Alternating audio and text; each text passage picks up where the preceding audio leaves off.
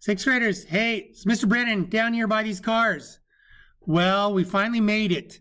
Today we talk about rates. Lesson 5.3. I think this is the most important lesson in our whole book. You can go back and look at all my other videos. Nowhere else have I said that. There's lots of important things we have done, but I think they're mostly getting ready to do this because this is how we use ratios. We take numbers that change to describe changes in real life. And we've already been doing this in science. You're going to watch one of the same videos. Today we have two videos, this video and Rady the Math Cat, because yes, it's that important. So rates are just ratios of things that we're comparing to find something out. In this case, we've got a distance per time. Maybe it's in miles per hour. Or we're looking here.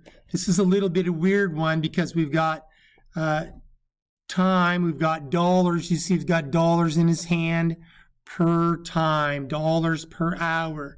Here we've got population change per year. We've got growth, alligator growth per year. So that word per, you're going to remember because because we're going to use our old friend Rady the math cat to review this idea. Again, this is the most important. I know you've been using in science, talking about the rates of things that have been happening in the stream and uh, things that happen over time. So this is the big idea. Let's take a look.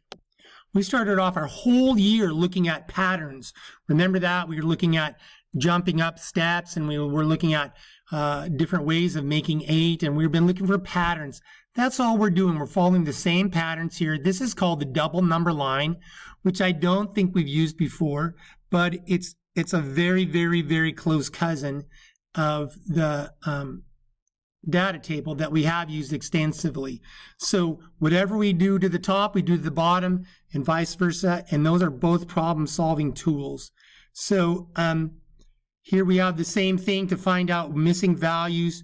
Whatever I did here, whatever happened here, in this case, I divided by six, the same thing's going to happen here. So if you just keep that idea of patterns in mind, then uh, you won't have any trouble. This looks new to us the uh, double number line, but it's exactly the same as using the um, data tables.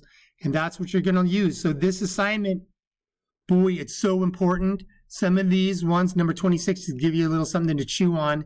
But um, think about it. Use those tools. This is the math of life. So I'm so excited to be here. I hope you enjoy that. And um, let's talk about it. If you have any questions at all, this is one worth fighting for. This is the grind. So let's be tough. Let's not give up. If you have this piece right now, this is the most important piece to sixth grade. So I hope you get it. If not, let's fight for it.